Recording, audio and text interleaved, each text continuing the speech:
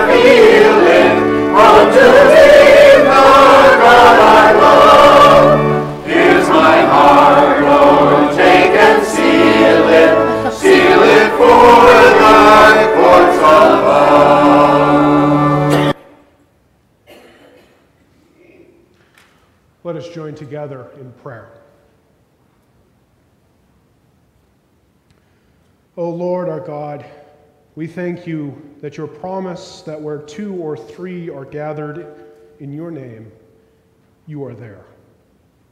We welcome the Holy Spirit to move among us today.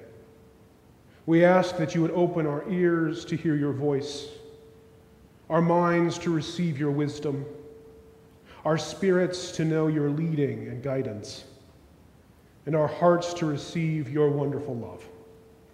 I ask this in the glorious name of Jesus. Amen. Amen. At this time, I invite Susie up for this morning's children's message. Good morning. Looks like I have a lot of young at hearts in here today. it's nice to see everybody. Do any of you, or did any of you, have nicknames growing up? Maybe Will is short for William, or Maddie is short for Madeline. Maybe that was your nickname, they, where you just shortened your name. Or maybe it was something you did as a child. Maybe instead of crawling, you scooted, so your nickname became Scooter. Um, or maybe you have a name where it was passed down from your family. Like in my husband's family, Aaron is a popular name that came from his grandfather. And so my husband's middle name is Aaron, and now we have a grandson named Aaron. So, have you ever thought about what your name means? Well, sometimes in some cultures, names do have specific meanings, like Malik means king, or Lucy, or Lu short for Lucille, means light. So, if you think back a couple of weeks ago to Abraham, his name that God gave him was Abram, which means father. And then God changed his name to Abraham, which means father of many. So then last week we learned that Jacob had that dream about climbing the ladder and all of that. So this week we learned that Jacob wrestled with God for a long time. And in that period, God changed his name. So let's listen to Genesis 32, verse 28, to see what God changed his name to be. Then the man said, or God said, Your name will no longer be Jacob, but Israel, because you have struggled with God and with humans and have overcome. So the name Israel means struggled with God. So Jacob's name was changed from Jacob to Israel because he struggled with God. I wonder how often, if we were given a name by God, if we could be obedient to that. Like, for instance, the name Cody means helpful. Could you live up to that name and always be helpful? Or maybe if your name was Josiah, that means cheerful. So if you were given a name by God, or think of a name that you would take on that God would give you, maybe you feel you're obedient. And try and be that person for two or three days and see if you can really live up to that.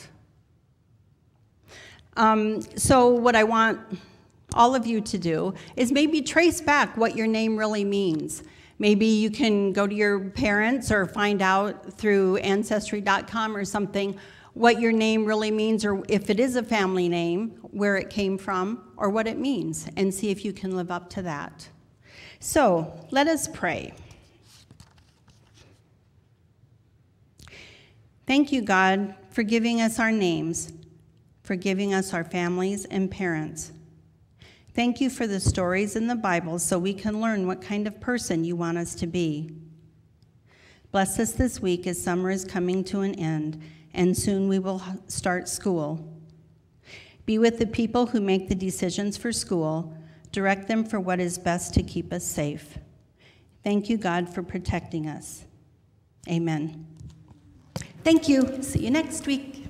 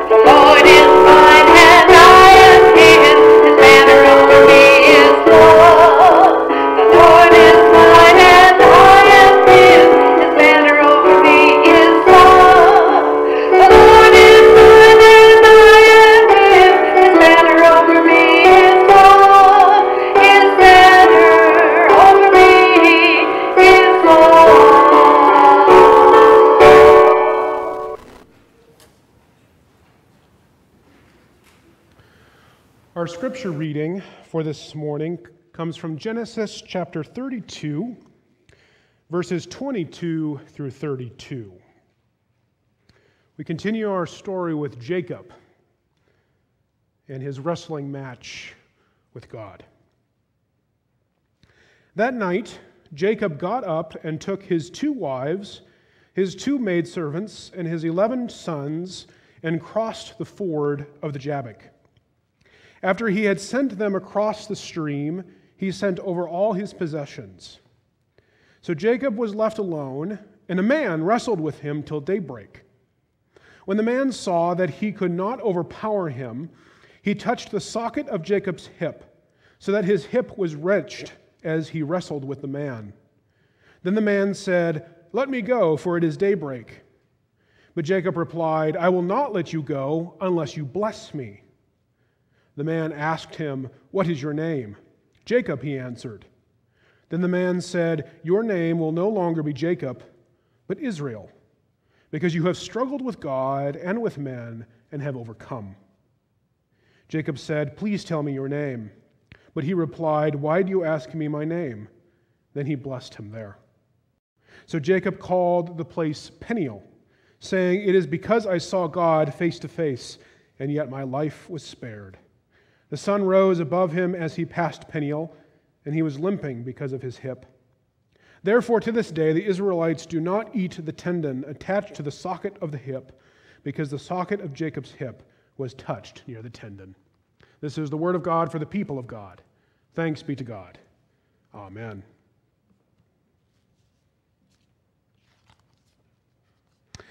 At one point growing up, my brother and I were really into professional wrestling.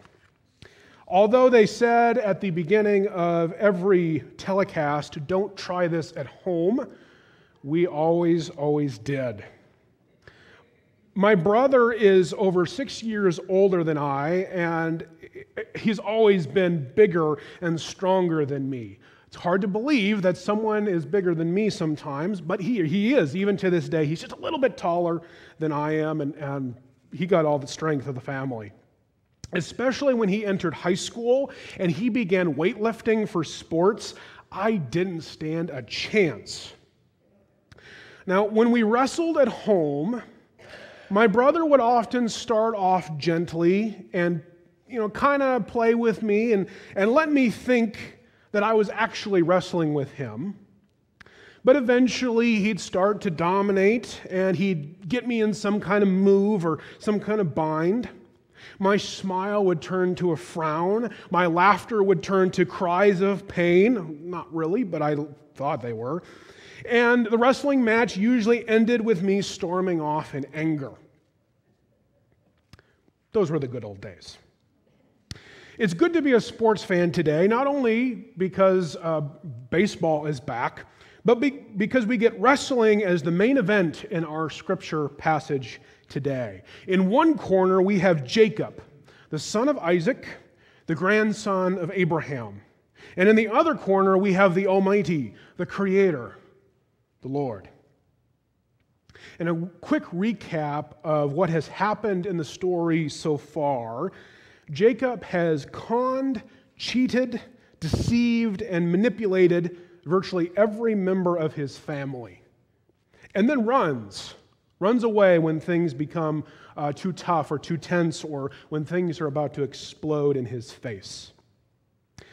To begin with, Jacob deceived his twin brother Esau into selling Esau's birthright as the firstborn son, and as well as the, the blessing from their father Isaac. Their mother Rebekah sends Jacob to her brother Laban for safety because Esau wants to kill Jacob.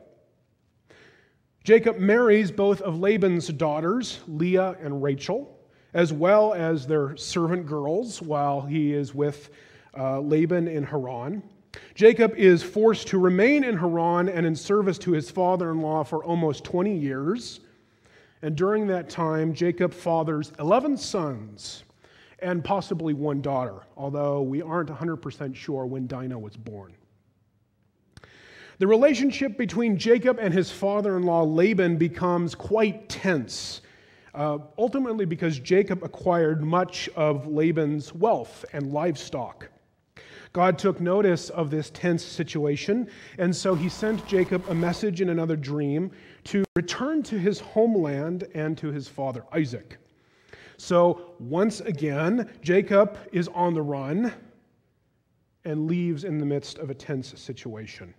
But with him this time goes his two wives and their two servant girls, 11 children, many servants, and a lot of livestock. At this time, Jacob's past is finally catching up to him. Yes, Jacob is on his way home, but that means he has to face his brother Esau, whom Jacob is convinced, even 20 years later, still wants revenge. Right before our passage, Jacob is preparing himself to face Esau. And in his trickster way, Jacob divides his family and servants into two camps and sends them both ahead to meet Esau. He sends them with gifts, hoping to appease Esau's wrath. So basically, Jacob sends his family in front of him almost as a human shield, protecting him from his brother. I don't know about you, but this is not exactly, in my opinion, an, an honorable thing Jacob has done, but it's in line with his character so far in the narrative. So, at the beginning of our passage today, Jacob is at a crossroads, both literally and figuratively. He has arrived at the Jabbok River, which is the boundary between Laban on one side and his brother Esau on the other. He is now in the middle of both his past as well as his future, a place where he believes he faces life or death. Since he sent his family and servants before him, Jacob is now alone, and the night has come, so it is dark. And suddenly, Jacob is attacked by an unknown man. If you are surprised by these events, you are not alone. I am too. These are really strange, a strange turn of events. The author of Genesis gives no indication of who this individual is. And this wrestling match appears to be an equally physical match, an equally physically contest, because the, the text tells us that Jacob's opponent cannot overcome him. And in light of the man's ability to cause Jacob's hip to slip out of place so easily at the end of the wrestling match, gives an, an appearance or a, a, a insight that this is not merely just a physical contest, but also a spiritual one. So the question is who is this unknown individual? Well, to be honest, your guess is as good as mine. If this is a spiritual battle, many scholars assume that Jacob is wrestling some kind of a higher being, possibly an angel. Jacob seems to assume he wrestled with God. Since he renames the place, the, the wrestling ring he's in, he re- renames it Peniel, which means uh, face of God. During this wrestling match, Jacob is able to stand his ground in the struggle. And during it, Jacob demands a blessing from the man. And in turn, the man gives Jacob a new name Israel, which, as Susie mentioned earlier, means he struggles with God. We, we assume that the blessing this mysterious man gives is Jacob's new name. I think it's noteworthy that what God did when he wrestled with Jacob is, is quite miraculous. Jacob began the night dreading his upcoming meeting with Esau. He was full of fear and desperation. But Jacob ended the night the next morning with God's blessing and a renewed faith, all in his possession. And with this change in name, Jacob also has changed his path in life. As previously mentioned, Jacob's character leading up to this moment has not exactly been model worthy. But as Jacob crosses the Jabbok River to meet Esau, he now crosses over into his promised destiny as Israel, similar to his grandfather and father before him. Jacob has begun to grow in his character as he grows in his relationship with God. He started as a con man, but now seems to be growing into a solid, a man of solid faith. And in doing so, he becomes the eponym for the group of people that God calls his own. This story of Jacob wrestling with God is certainly an unusual one in all of Scripture. But the image, I think, of wrestling makes for a good metaphor. Wrestling is grappling with an opponent in order to gain and maintain a superior position. And I think, know, at one time or another, or in some of our cases, lots of times, we have all wrestled with God. We have wrestled with God because we don't want to give God control of things. We want to be the ones in control. We want to be the ones who are in the driver's seat of our lives. We want to be the ones calling the shots. We want to be in control because we're comfortable with who we are. We're comfortable with where we're at in our lives. We're comfortable with what, our, what we're doing. If we do give control over to God, that means we may have to change. We'll have to go where God wants us to go, do what God wants us to do, be who God wants us to be. And we're not sure we really want to do that.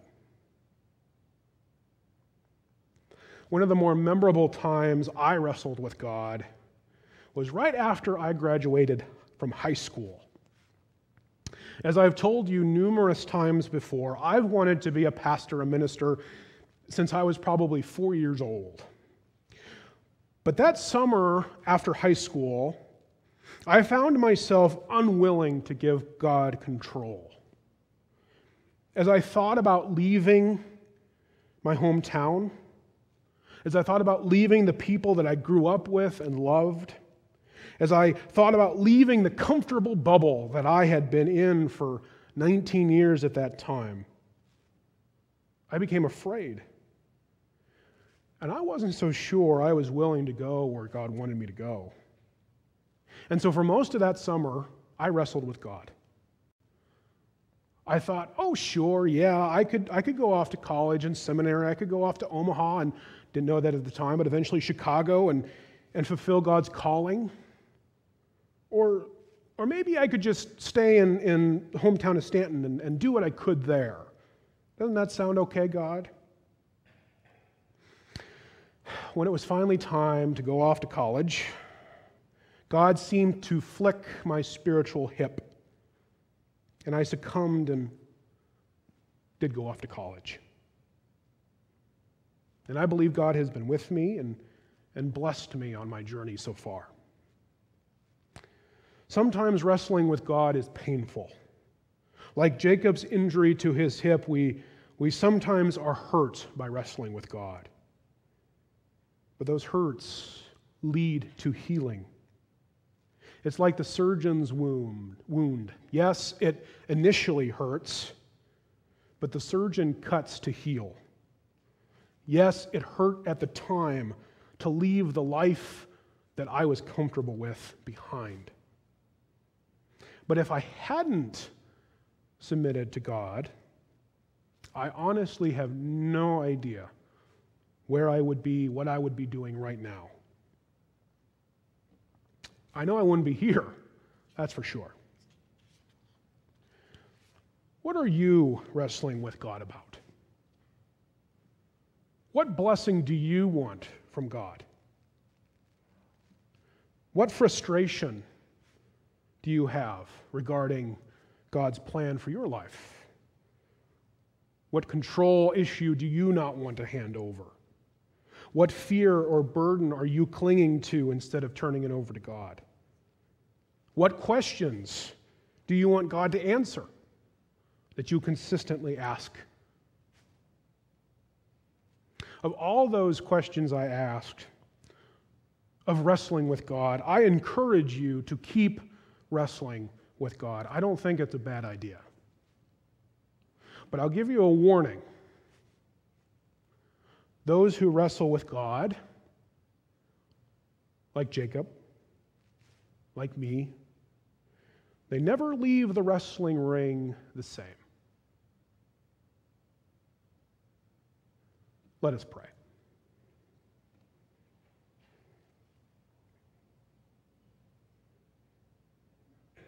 O God, our Heavenly Father, we have heard the story of Jacob as he wrestled with you and how he asked for a blessing. There are many times in our lives where we wrestle with you and seek your blessing. As each of us here this morning wrestle with you, as we come to you with our fears, our doubts, our pains, our questions, as we grapple with both them and you, may you change us. Even if that change may hurt at first, help us know that through the pain comes healing. Help us trust you and, and allow you to guide us in our lives. Help us remember who is in control of creation, who holds all things together. And may Christ be the one who controls and drives our lives. O oh Lord, may you receive our thanks for all that is right and good and proper and shining with hope in our world and our lives. May you also hear our requests for all that seem wrong or bad, out of joint, and full of suffering. Oh God, may you be with the sick and those who help them. We pray that you comfort our loved ones who are feeling the effects of age. Be with and bless all in our society who have been cast to the side. Help us in both the church and those around us find food for the hungry and clothing for those who need it. May you soften the hearts of those who are full of hatred and spite. Help us all to love our neighbor as your Son commanded, to see all human beings created in your image. Work through us so that your kingdom may be seen here on earth as it is fully realized in heaven. O merciful God, we lift up to you all the prayers that are on our hearts and minds at this time. In your mercy. Hear our prayer.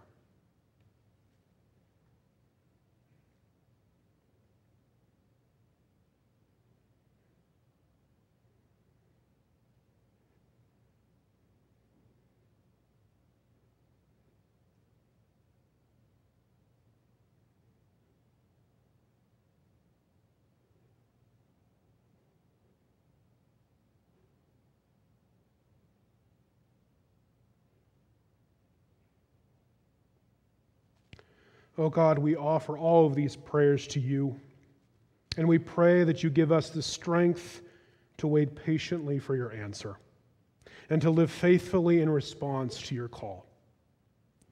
We pray all of this in the name of Jesus Christ our Lord, who taught us to pray. Our Father, who art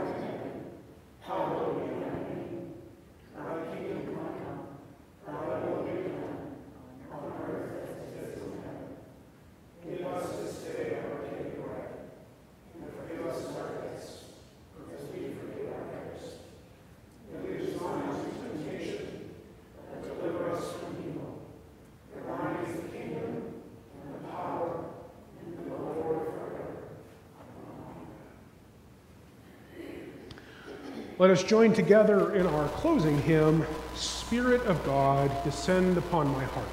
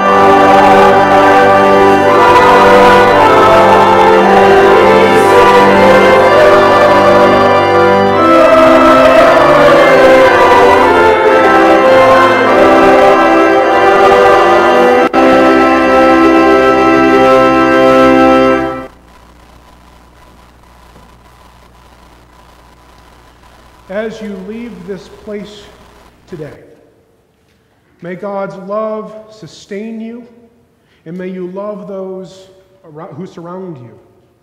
May God's Spirit empower you, and may you empower all those whom you meet.